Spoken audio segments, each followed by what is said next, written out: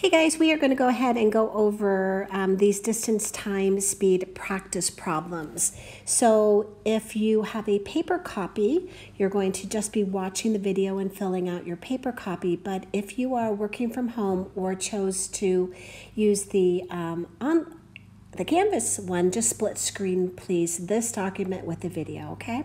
Alrighty, so we're going to do one in each of these sections. So we have a speed section, a time section, and a distance section. So we are going to be solving for all three of those in our distance time speed triangle. I'm going to do one with you per section, and then I'm going to give you the option to continue um, working through these with me and the video or to peel off and work on them on your own, okay? All right, so let's go ahead and get started. Before we even get started calculating, I am going to draw that distance, speed, time triangle. That is such a good um, representation of the formulas we need to use, okay? So the first section is we're going to be calculating for speed. So we are going to be covering up speed, giving up distance divided by time. Distance divided by time. So if a car travels 400 meters in 20 seconds, how fast is it going?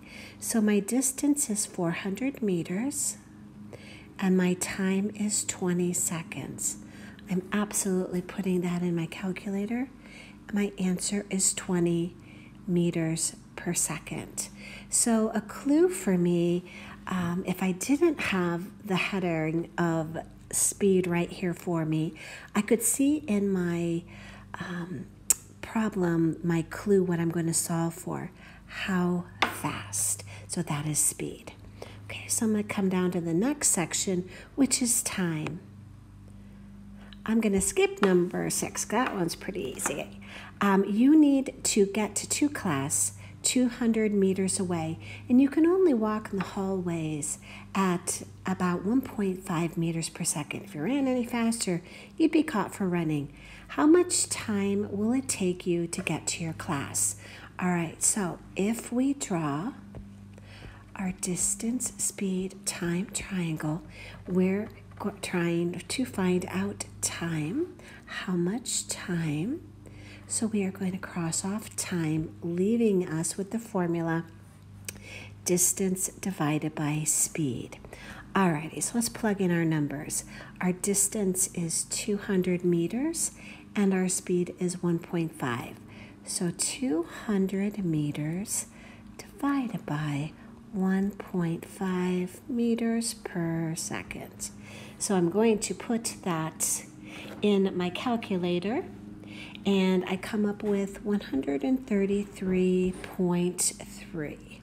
Now this, when I put this in my calculator, I've got a lot more decimals after that, but I'm just going to round it to one decimal place. So I'm ready for my unit. So I can cross off meters from up here and meters from down here, and that leaves me just with seconds.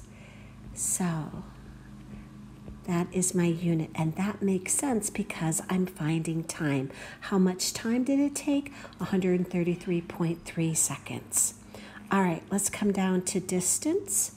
Let's draw our triangle one more time. Distance, speed, time. Okay, so how far can you get away from your little brother with the squirt gun filled with paint if you can travel at three meters and you have 15 seconds before he sees you? So, how far? That's going to be distance. So, I know I'm solving for distance, leaving me my formula right there speed times time. Speed times time.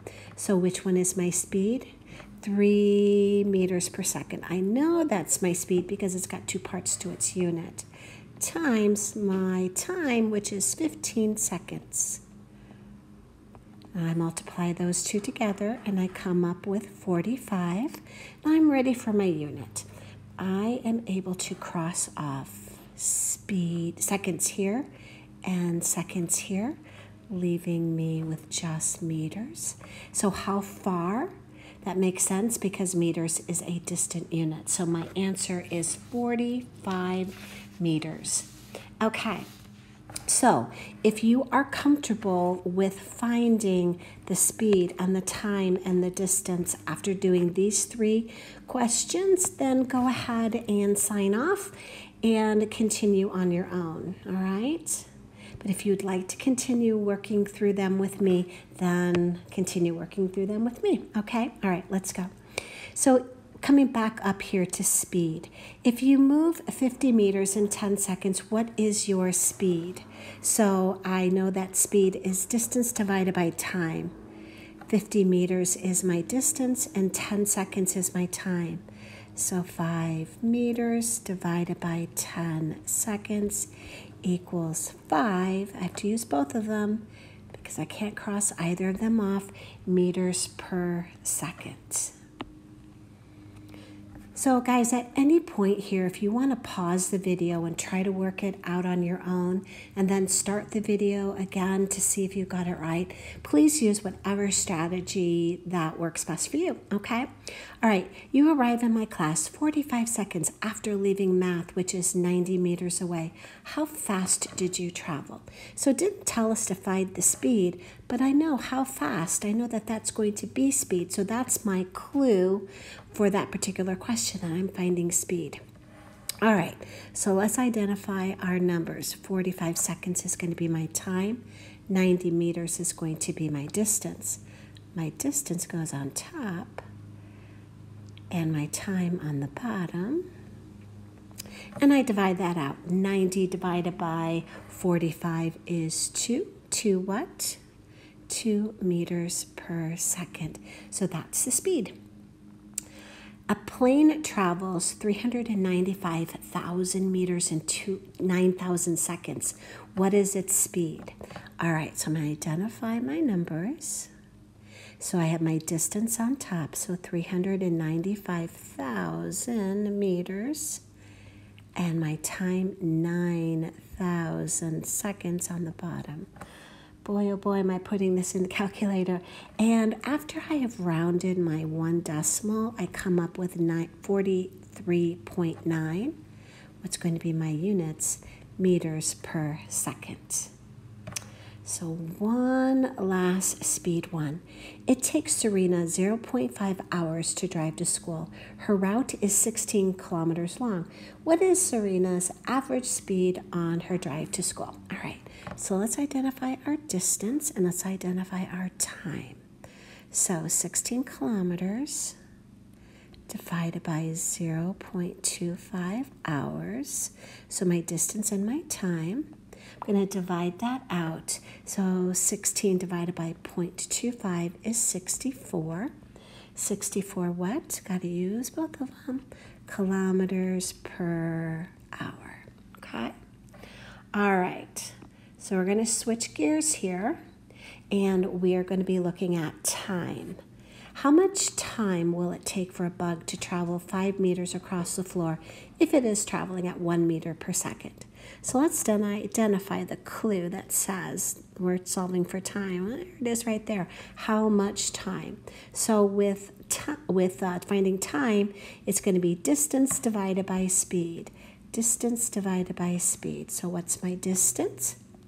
Five meters. Um, what's my speed? Whoops, I said that wrong earlier. One meter per second. So five meters divided by one meter per second is five. So I'm going to get rid of the units that are the same, leaving me just with the seconds. So it takes five seconds for a bug to travel five meters across the floor, traveling at one meter per second. All right. In a competition, an athlete threw a flying disc 193 meters through the air. While in flight, the disc traveled at an average speed of 13 meters per second.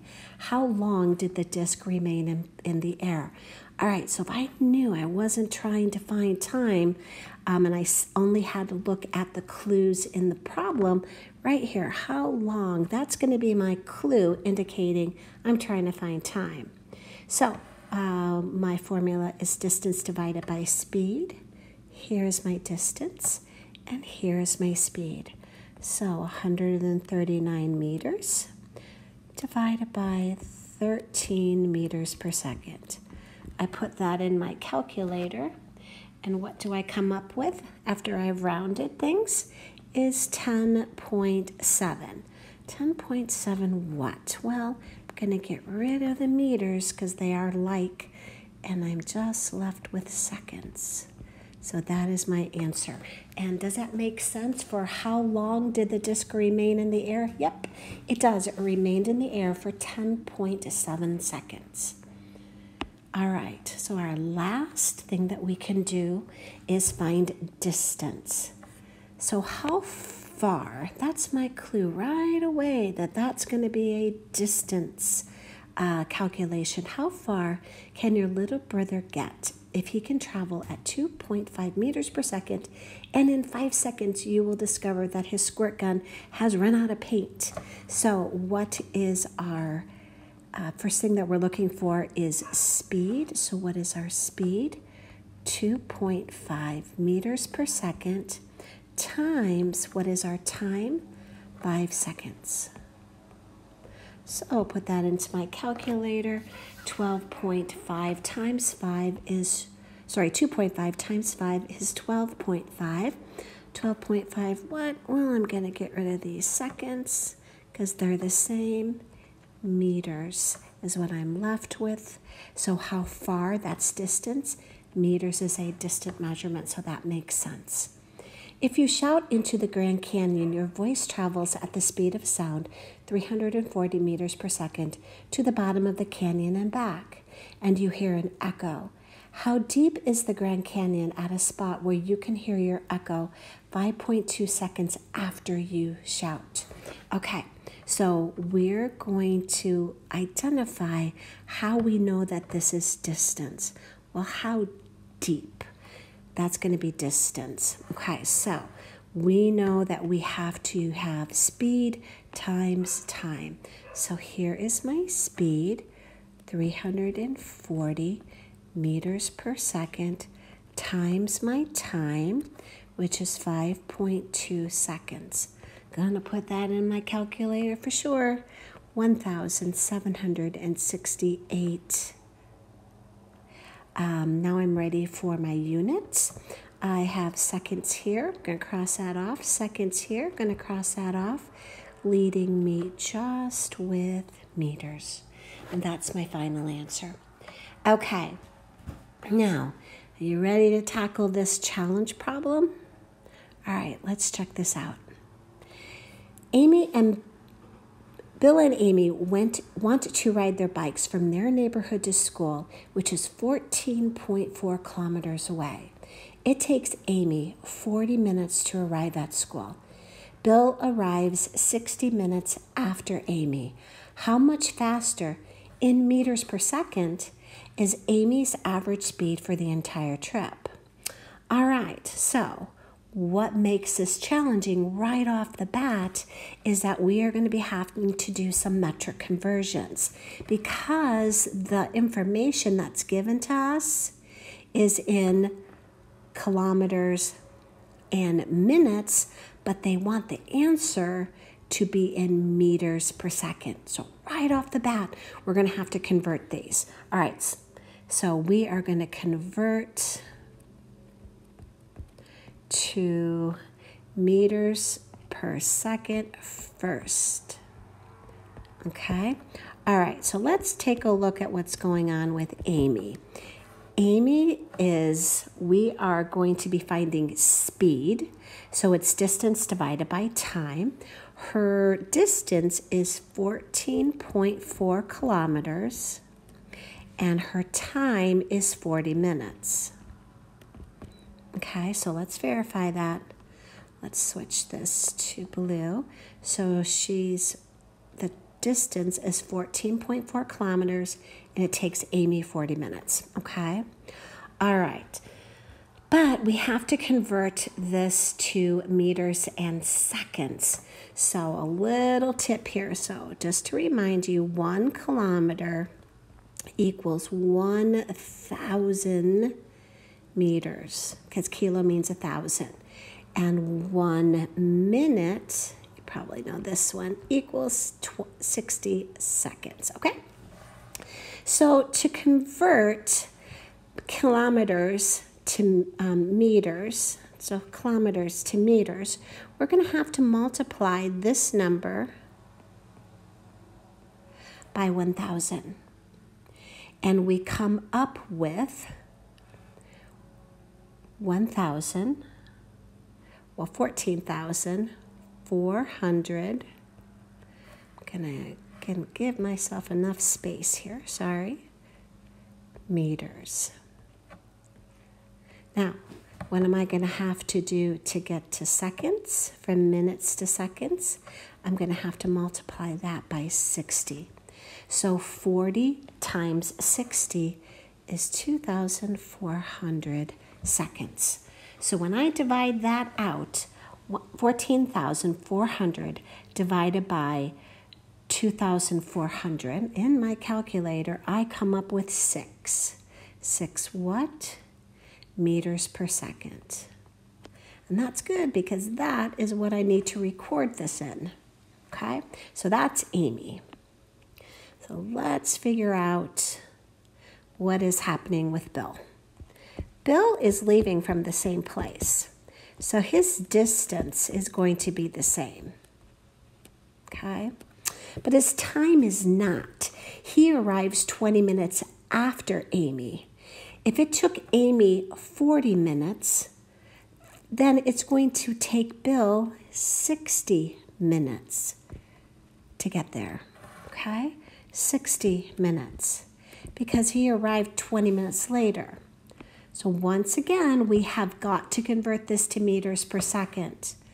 So we already know that this is 14,400 meters. And we are going to multiply this 60 times 60 to come up with 3,600 seconds.